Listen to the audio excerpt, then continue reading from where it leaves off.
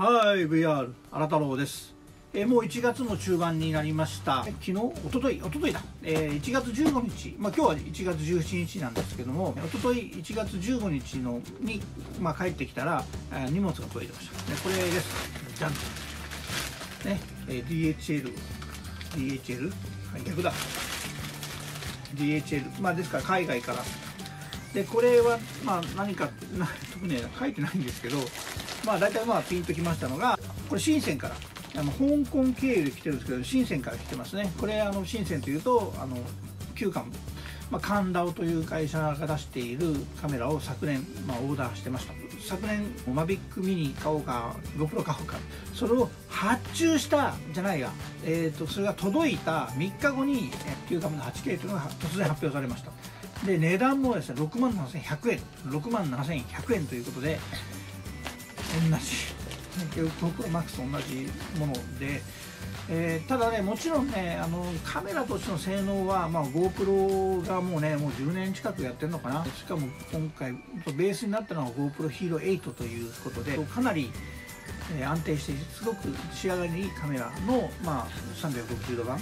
ですのでまあ、多分カメラの安定度は GoProMax の方が素晴らしいんだろうなと思いつつも、えー、これはまあ完全に 8K、えーとまあ、8K といっても全部で 8K というわけじゃなくて360撮るので 4K4K という形でねということでまあ来たということですけれどもまあ早速開けてこれね動画撮るためにねあの昨日も全部我慢してあのこのまま置いていたんですね。はい。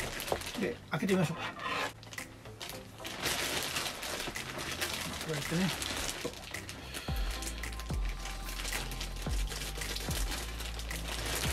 ね開けて開けみましょ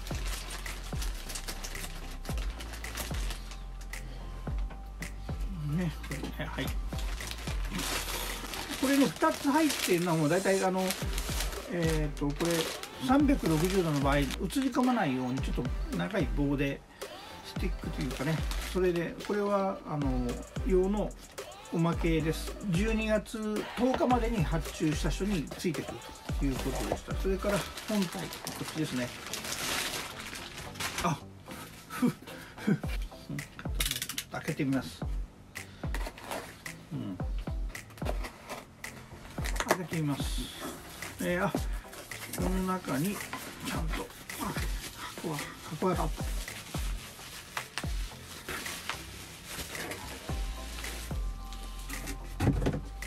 ねそうだ箱あったよねそういえばね。はいこれ9カム9カム 8K ちょっと映ってるかな？9カム 8K こんな感じの箱。割とコンパクトですね。はいこんな感じね。えっ、ー、と GoPro の MAX ライバルとも言われている。ライバルライバルまあ GoPro じゃなくて向こうがライバルしてると思うんですけど。GoPro の MAX がこの際ね。まだ箱も開いてない。パッケージも開いてないんですけどこれとまあ大きさもあんま変わんないかな。まあ、大きさ考えてもこっちね結構見せてるっていうところでカメラ本体ねカメラ本体これだけなのであとアクセサリーとか下に入ってるんですけどまあこれとこれ。これとこれでね。もう本当にこれカメラがねこれ GoPro ここだけがカメラなんですけどこのこの空間の 8K は結構ね長いらしいです、はい、これちょっとねこれ本当取っていきますけど。はい取ってきます。ええー、っとまあこの箱にまあこれこんな感じかな、はい、取ってしまって。こういう割と高級感のあるケースに入っております。三上の神田と書いてますね。はい。これをこう開けていきます。はい。こんな感じで。これでかいですね。うん、こう引き上げ。一応こう引き上げるようになってるね。こうやってね。こうやってねこう。でも取れちゃったはい。うん。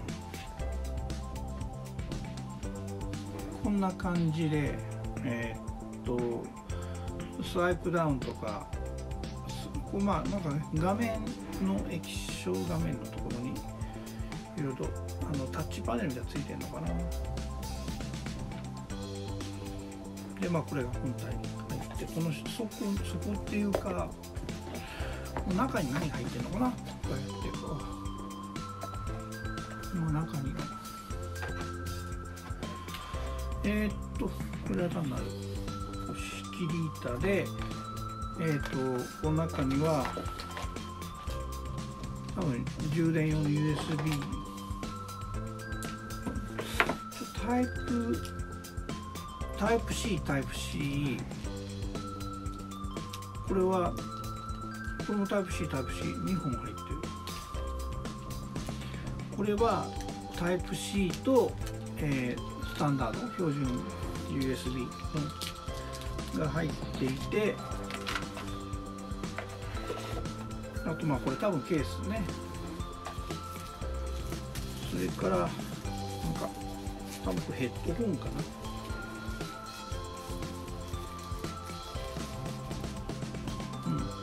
あ違う違う違う。あストラップだ。ヘッドホンいらないよね。ストラップがあここにこのストラップは多分このこのねこのお尻にねじ込むね。落として大変だからね、まあ、こんな感じ。結構でかいです。GoPro のカメラもねこんだけだから。これ、ね、開けようかどうか迷ってんだけどね。誰かいる？もう本当に。でもいるってただだけないよ。えー、まあちょっとごめんこんなカメラね。GoPro のカメラ部分と比べても相当でかい。まあでもよくこの大きさに 8K なカメラ押し込めたなって感じですね。これから出かけないといけない。一応こんな感じで、えー寒暖の 8K 来ました。多分これ充電して取らないといけない。えっ、とさっきねあったこれ用にメモリ2頃買ってきましたんで。8K だからやっぱデータがでかいんですよそれから確かね見せてもらった時になんかこれ用の編集というかキャプチャーソフト多分独自フォーマットで書かれているのかななんかちょっと PC を PC でいろいろとあの撮ったものをえー、ローデータじゃないと思うんですけど、まあ、ちょっとこれ調べます。えっ、ー、と、これをまた PC とかでやらないといけない、加工しないといけない。これ 8K だからね、その辺ちょっと撮るってわけにもいかないので、次動画撮るときは、どこか持って行って撮る、あの、撮る、あ、そうか。もう一個あったよね。ついてきた、この、これ。あ長え足だなこれは中に入ってもちゃんと書いてますけどもこのなんかねちょっといろいろ入ってます入ってますよと。多分これがあってさっきストラップつけちゃったけどここにつけるんだろうね。多分こうやるんだね。これあの 4K 撮るときに。これこれ動くのかまあこうなって。多分これ伸びるあ伸びる伸びる伸びる伸びる伸びる。伸びる伸びる。これね大体こうもうこれ入んないけどなんだろう。決うん。で上の方にビューってねビューッと上げないと360度取れないんで多分そのためのもの。それから下げて取る。ちょっと中途半端なサイズだな。これにでかいね結構ね。足長いな。こんな長い。これ画角に入んないや多分。うん。まあでもこうやった。トップ見える？あ見える。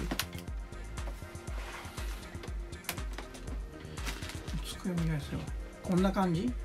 こんな感じまあ、こうやってるとね360撮れるしこうあの自分で動きながら撮るときはすごく伸ばすんですよね。できるだけ360度の撮影部分に入らないように。でこれがあの 4K4K 4K で合計 8K というカメラです。まあよくねこの大きさにやったなと。こっち液晶だから電源入んのかな？これあと USB は USB じゃあえっ、と、まあ、SD カードはここに入るね。これ一応防水っていうか若干防水機能あるとかこの間聞いたんだけどな。こちらの方に外部マイクの端子あんのかな。これ GoPro なかったもんね USB のあの端子があってこのなんだろうちょっと後で調べよう。パワーボタン。あ入っちゃった。これ剥がす？はい。これ剥がす。聞こえるこれ結構ねファンこの前見せてもらった時にすんげえファンでかかったんだよね。こんな大きさ。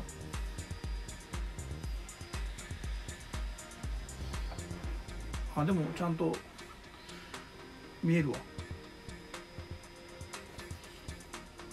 これちょっとこれ外しちゃって。ね。こっち見えるでしょ。うん。うん消えちゃった。はいねはい。こんな感じです。結構でかいですけどもちょっと試し撮りとかはうんまあちょっとやってみます。ちょっと電源。オフ。あこれ内蔵もあるんだこれね。内蔵確かあったような気がする。調べよう。Q カム 8K 届きました。これからいろいろ試してみたいと思います。